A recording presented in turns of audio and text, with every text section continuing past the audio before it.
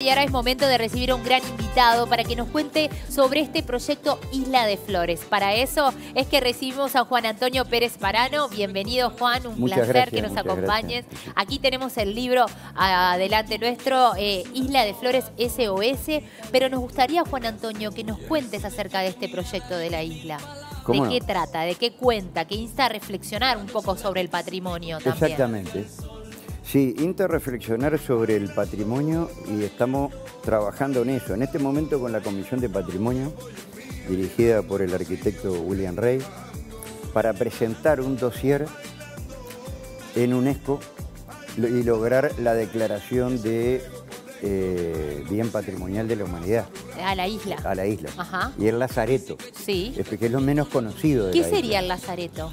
Eh, el lazareto es una instalación que viene inspirada de tiempos inmemoriales, de los más antiguos lazaretos de Venecia, quienes ya eh, se inspiraron en San, en San Lázaro con el cuidado que este, se relata en la historia sagrada, religiosa, Sí. tenía sobre humanos y animales. Claro.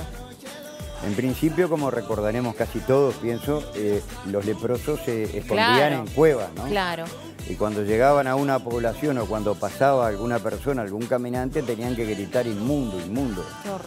Luego comenzaron los lazaretos a, a juntar esa, esa gente y tratar de darle asistencia. Y era lo que sucedía en, isla- en la isla, además. ¿Qué pasó? Que esto ya es otro estadio, es decir, mucho más moderno. Más que- que en el- avanzado, pero claro. era Pero, pero es parte de esa historia y de es ese parte relato. de esa historia, como va llegando a nuestros días, ¿no? Ajá. Y ahí sobre todo era un lazareto marítimo en cuyo objetivo principal estaba identificar posibles pasajeros con eh, distintas enfermedades Claro.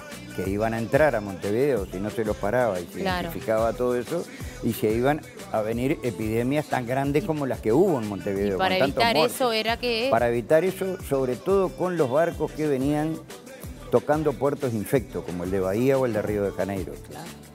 Una historia muy grande, muy amplia, que muchos desconocemos.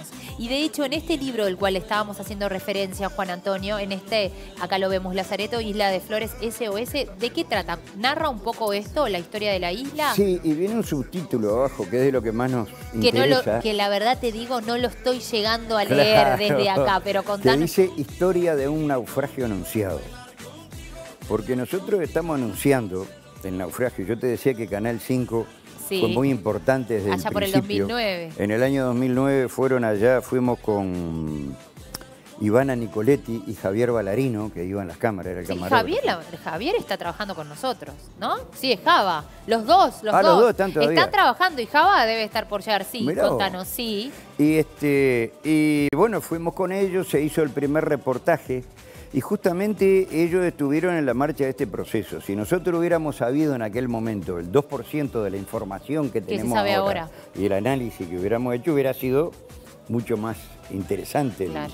lo que teníamos para decir. Pero en todos estos años he seguido trabajando. En todos estos años se siguió trabajando, hemos hecho, hemos publicado material, hemos estado difundiendo donde hemos podido. Porque la idea justamente es buscar que sea reconocido la que sea la isla. reconocido y evitar el deterioro eh, inmenso que tiene, que se Y está que cada- cayendo a y pedazos. que cada vez es ¿no? peor. Nosotros hacemos informe ahora a la Comisión de Patrimonio, Sí. al Ministerio de Transporte y Obras Públicas, al Director Nacional de, de Arquitectura, Sebastián Borsari, este, y los vamos poniendo en cuenta. Cada 15 días sacamos las fotos que vienen con la fecha y la hora Claro, para que vayan viendo y se vaya cámara, registrando lo que para está que se vaya viendo. Bueno, mira, ahí Sí. justamente teníamos una foto, gracias, Ajá. de, del antes y el después. ¿Estoy Ahí lo correcto, está, Juan exact- Antonio? exactamente, sí. Para ver este deterioro del cual tú estabas haciendo referencia. Exactamente. Y eso no solo no se detuvo, sino que empeora cada vez Claro, más, ¿no? por eso la- la- el, el tema de la documentación Este, cada 15 Nosotros días. pensamos que si ahora en verano, primavera, verano, se están cayendo así tantas paredes, pedazos de paredes, Lo que va a ser en es invierno. invierno, además si tenemos viento Por eso es que fuerte. por eso es toda esta información recabada y demás para que justamente se proteja todo esto. Exactamente. Que porque sin duda es parte de es nuestra área historia. protegida. Es El Ministerio de- Ambiente tiene que ver también.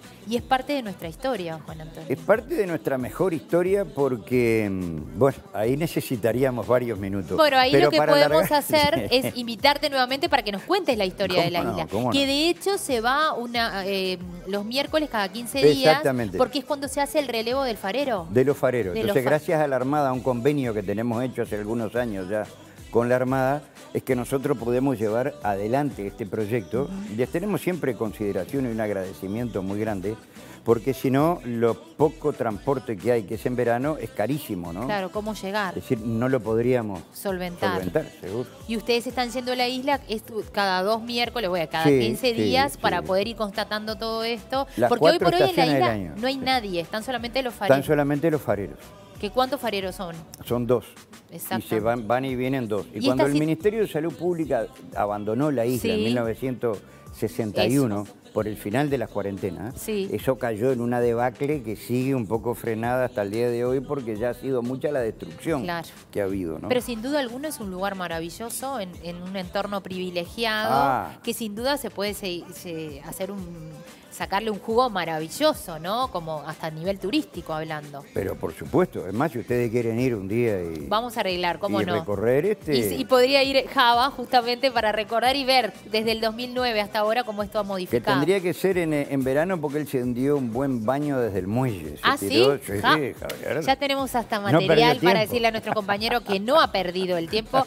Este, pero Juan Antonio, primero gracias por estos minutos que están Por favor, acompañando. gracias a ustedes que nos colaboran. Seguimos viendo la- imágenes para nosotros. Es más, sin duda alguna que vamos a estar convocándote nuevamente para que ¿Cómo nos no? cuentes, en este caso, eh, la historia de la isla, ¿no? Para Con que la gusto. gente tome conciencia de lo que significa. ¿El libro está a la venta? Si quieren conseguirlo, lo Sí, pueden sí, está a la venta. sí. ¿En dónde lo pueden La encontrar? distribuidora Guzzi lo ha Ah, dejado en todos los shopping, en no. todos Si lados. está con Guzzi, está en todos Seguro, lados. en Y si todos no, pueden ir directamente a Guzzi Libros. También. Y ahí hacerse, si quieren saber un poquito más de esta historia de, de Isla de Flores que está pidiendo socorro, ¿no? Sí, SOS, SOS. exactamente. Juan Antonio, gracias por habernos acompañado. Bueno, muchas gracias duda a ustedes. Que la invitación ya se la vamos a pasar a Java y a Virna, en este caso nuestra compañera de exteriores. Esperemos volver a navegar. y esperemos volver a encontrarnos aquí para seguir hablando de esto y que sea con lindas noticias. Cuando ustedes quieran. Gracias, Un Juan Antonio, un por placer. favor. Nos